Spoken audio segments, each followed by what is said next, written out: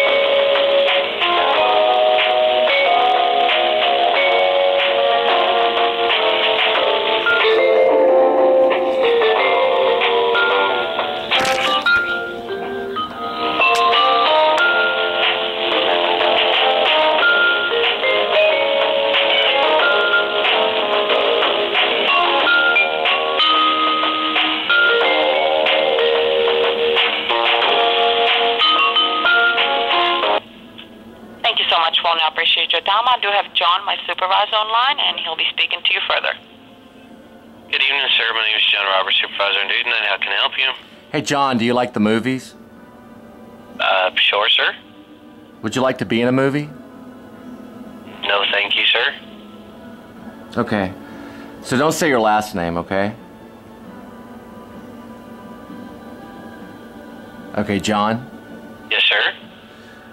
Okay, um. I want to know why I went to AMC tonight on a date, or. And I want to know why my Visa card declined when I had the funds in there. Okay, we're not showing that it did decline, sir. Okay, but then why did they show the, the why why why did they show me the actual piece of paper that said it declined? Approval.